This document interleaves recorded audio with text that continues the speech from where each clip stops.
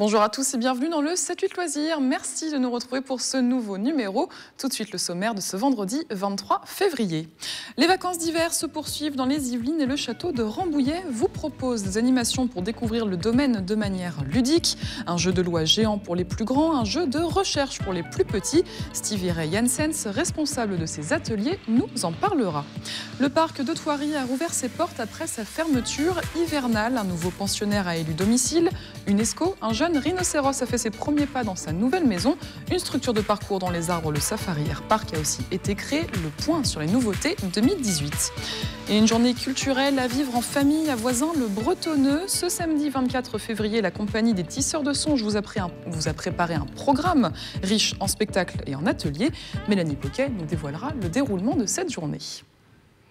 On part d'abord à Versailles où une exposition joue les prolongations, celle consacrée au peintre et photographe Georges Gastet. Elle devait se terminer la semaine dernière. Vous avez encore jusqu'au 4 mars pour en profiter au musée Lambinet.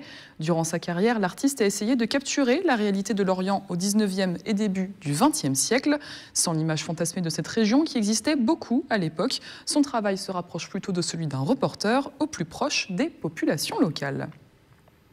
Et pendant les vacances d'hiver, le château de Breteuil vous accueille tous les jours pour des visites guidées et des séances de contes. L'occasion de redécouvrir le domaine au cœur de la vallée de Chevreuse, dont l'histoire de la famille Breteuil est fortement liée à l'histoire de France. Comme toujours, les scénographies son et lumière sont à découvrir. Cendrillon, La Belle au Bois dormant, Le Petit Chaperon Rouge, Le Chaboté et Les Fées, des personnages issus des contes de Perrault, figures importantes pour la famille. On écoute Jean-Emmanuel Charot, administrateur du château de Breteuil. Il était invité dans notre journal cette semaine. La famille a donné euh, trois ministres euh, au, Bourbon, l'un sous Louis XIV, l'autre sous Louis XV et le plus célèbre sous Louis XVI. Euh, le ministre de Louis XIV a eu comme bras droit Charles Perrault, au ministère des Finances et on rend hommage à cette collaboration de travail et à cette amitié entre les deux hommes avec toutes les scènes des contes de Perrault que l'on peut voir dans le parc. Mais Breteuil, c'est avant tout un château de famille. qui est effectivement dans la même famille depuis sa construction. C'est un château qui n'a jamais été vendu et toute l'histoire du château est complètement liée à l'histoire de la famille.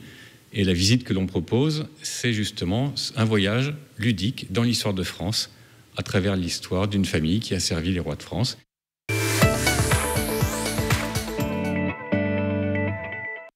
Et un autre château, celui de Rambouillet, propose aussi des animations pendant les vacances. Deux ateliers, un le matin pour les plus jeunes, le deuxième l'après-midi pour les plus grands.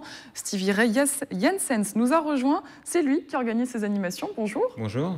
Alors pour ces vacances d'hiver, vous proposez une découverte du château à travers le jeu et les jouets. On va d'abord parler de l'atelier pour les plus petits qui est à partir de 4 ans, hein, de 4 à 6 ans. Il faut retrouver le jouet égaré du jeune roi de Rome. C'est ça. Alors le roi de Rome, c'est le fils de l'empereur Napoléon Ier. Et donc, on va expliquer aux enfants qu'il est parti en pleurant et qu'ils euh, vont devoir l'aider à retrouver son jouet. Et comment ils vont le faire? Ils vont devoir retracer toute la journée euh, du jeune euh, de l'Aiglon à travers les différentes pièces du château. Ils vont et du coup, ils vont apprendre comment se passe la journée d'un fils d'empereur, etc. ils vont aussi faire différents jeux et tout cela va les amener à trouver le trésor, la récompense qui est le jouet perdu du jeune empereur. Donc c'est une chasse au trésor en fait dans les couloirs du château en fin de compte. C'est ça. ça. un peu ça l'idée. Oui, tout à fait. Allez-y du coup. Ça les amène justement à découvrir toutes les pièces euh, du château de, de manière beaucoup plus ludique qu'une simple visite guidée. Et pour les plus grands, euh, là, c'est à partir de, 7 ans, c'est une sorte de jeu de loi que vous avez euh, organisé. C'est ça. Alors, on a transformé une des plus grandes pièces du château, la salle des marbres, en jeu de loi géant avec des cases gigantesques. Et donc, les enfants seront divisés en plusieurs équipes. Et au fur et à mesure qu'ils se déplacent sur le plateau, ils vont aussi se déplacer dans le château pour résoudre différentes énigmes, euh, des puzzles, des épreuves un petit peu plus sportives. Donc là, l'idée, c'est de réussir à sortir du château, en fin de compte. c'est ça, oui, parce qu'on leur explique que tout le monde est coincé jusqu'à ce qu'ils arrivent à atteindre la fin et résoudre l'énigme qui se trouve euh, sur la dernière case du jeu de loi. Alors, on le précise pour les plus jeunes, pour l'animation du matin euh, à partir de, 4 ans, les adultes doivent obligatoirement accompagner euh, leur enfant, mais pour l'animation de l'après-midi, vous proposez une véritable immersion. Voilà, alors l'après-midi, on préfère que les parents n'accompagnent pas les enfants. Ça permet à certains enfants d'être, de se lâcher beaucoup plus. Il y en a qui restent proche des parents et on s'est rendu compte qu'ils euh, se libéraient plus facilement, ils participaient beaucoup plus avec le groupe lorsqu'ils étaient seuls. Un peu plus à l'aise du coup. Euh. C'est ça. Et ces animations, donc, elles sont proposées pour mieux faire connaître l'histoire euh, du château, notamment celle de Napoléon Ier à Rambouillet. Alors, quelle est-elle, cette histoire? Alors l'année dernière, on avait plutôt parlé du XVIIIe siècle, et donc cette année à Rambouillet, la programmation culturelle va s'axer sur Napoléon et l'Empire. Euh, c'est un château que Napoléon récupère lorsqu'il accède au pouvoir. Et c'est un château qu'il appréciait beaucoup, parce que c'est un château beaucoup plus privé, euh, qui justement, ça l'éloignait de toute cette vie euh, de cour. Et il aimait beaucoup passer du temps à Rambouillet. Il y a passé une soixantaine de jours. Alors ça peut sembler très peu, mais Napoléon, c'était quelqu'un qui passait énormément de temps en campagne. Et du coup, 60 mmh. jours à Rambouillet, c'est quelque chose d'assez énorme. Donc c'est euh, vraiment une histoire à, découvrir.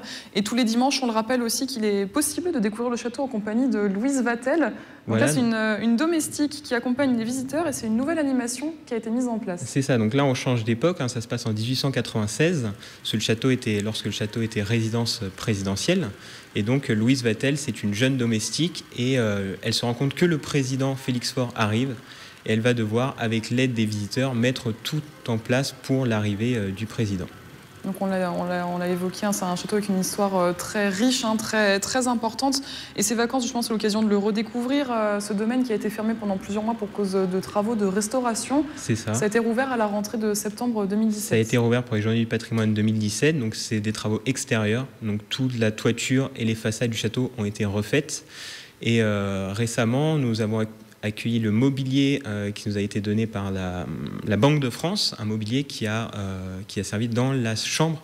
De l'empereur Napoléon Ier. Donc c'est une nouveauté que vous pouvez découvrir à partir de cette semaine. Donc la chambre de l'empereur remeublée avec. Alors c'est pas le mobilier de l'empereur, c'est le mobilier du duc de Guette qui était un de ses euh, ministres des Finances. Donc le domaine, donc euh, il y a l'intérieur, il y a le château, mais il y a aussi l'extérieur, notamment la laiterie de la reine et la chaumière au coquillage qui font aussi partie des visites qu'on peut faire euh, sur le domaine. Ça, c'est en visite guidée. Vous pouvez découvrir euh, la laiterie de la reine. C'est un temple antique qui a été construit par Louis XVI pour sa femme Marie-Antoinette.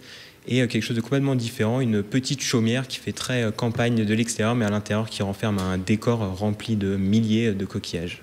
Donc, pas mal de belles, de belles choses en tout cas à découvrir. plein de choses à découvrir. Merci beaucoup Stevie Gansens donc d'être venu sur notre plateau. Donc alors on, précise pour les informations euh, pratiques qu'il faut un supplément, c'est ça pour assister à certaines animations. Voilà, c'est 7,50 euros par enfant et c'est gratuit pour un adulte accompagnateur. Voilà, donc euh, vous avez toutes les informations et elles sont également à retrouver sur le site internet du château de Rambouillet. Merci beaucoup. Merci. Le parc de Thoiry a rouvert ses portes au public après sa trêve hivernale. Fin janvier, le zoo a accueilli un nouveau pensionnaire, UNESCO. Ce jeune rhinocéros a rejoint Bruno et Gracie, les deux autres de son espèce. Les équipes ont préparé d'autres nouveautés pour les visiteurs. Regardez. À peine âgé de 3 ans, UNESCO pèse déjà près de 2 tonnes. Arrivé le 25 janvier, c'est l'une de ses premières sorties avec ses compagnons. Il découvre sa nouvelle maison et ses voisins. Son arrivée depuis le safari de Pau en Ardèche est un symbole fort pour le parc qui se remet doucement de la mort de Vince il y a un an. UNESCO est à Thoiry pour grandir. Dans quelques années, il pourrait aider à préserver son espèce. La mère de l'UNESCO est gestante et va mettre bas au mois de mars. Et, euh, donc il fallait que ce jeune mâle euh, ben, quitte, quitte son, groupe d'origine. Donc il va rester là quelques années. Si le coordinateur du programme euh, d'élevage des rhinocéros en Europe a besoin de lui en reproduction dans un autre parc, effectivement, il pourrait repartir dans quelques années euh, pour s'accoupler avec certaines femelles. Mais pas de naissance de rhino prévue à Thoiry. UNESCO partage son box avec Bruno, un mâle de 5 ans, et Gracie, la doyenne de 37 ans. Les visiteurs peuvent déjà le rencontrer et découvrir les autres nouveautés du parc. L'offre d'activités aériennes, initiée avec la tyrolienne du côté des lions, a été complétée par un parcours dans les arbres. On va évoluer dans des filets jusqu'à 9 mètres de hauteur avec une vue sur les animaux de la plaine africaine. Il y a eu 10 semaines de montage euh, dans les arbres pour pouvoir accrocher ces filets. Donc c'est vraiment une aventure bondissante. On peut y aller euh, à partir euh, de 3 ans, accompagné d'un adulte bien sûr. Le parc de Thoiry fête cette année ses 50 ans. Pour l'occasion, une nouvelle zone d'immersion est en création. Un trek australien avec une volière d'oiseaux exotiques et un parcours au milieu des wallabies sera prêt pour le printemps.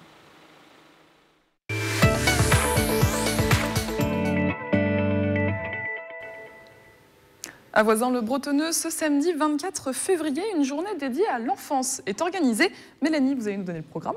Oui, c'est même une journée de spectacle, euh, qui est d'atelier pour les petits comme les grands, et c'est à vivre en famille. Et ça se passe à l'espace de Coville.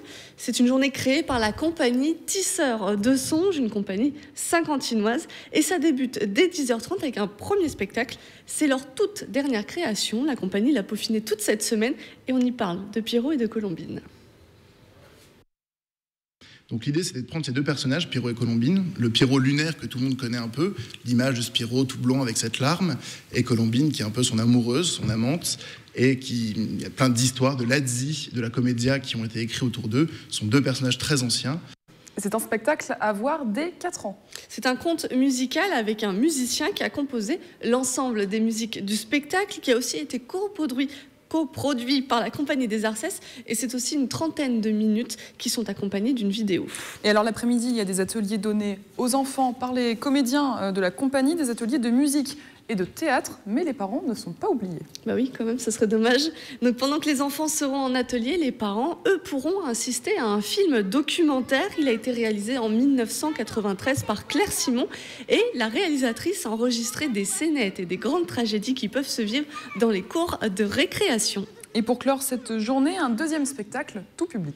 Le spectacle s'appelle Rusante revient de guerre. Pour la compagnie, c'est leur création en 2016. C'est un spectacle de tréteau qui mêle de la musique, du chant, de la danse et aussi du jeu burlesque. Alors pour assister, L'heure à noter, c'est 16h30.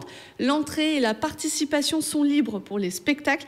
Par contre, la réservation est obligatoire pour les ateliers de l'après-midi. Merci Mélanie. Donc, euh, réservation au numéro qui s'affiche au bas de l'écran. Merci pour ce rendez-vous junior. On passe à notre agenda avec une autre idée sortie en famille, mais qui s'adresse cette fois à ceux qui ont un petit peu la main verte.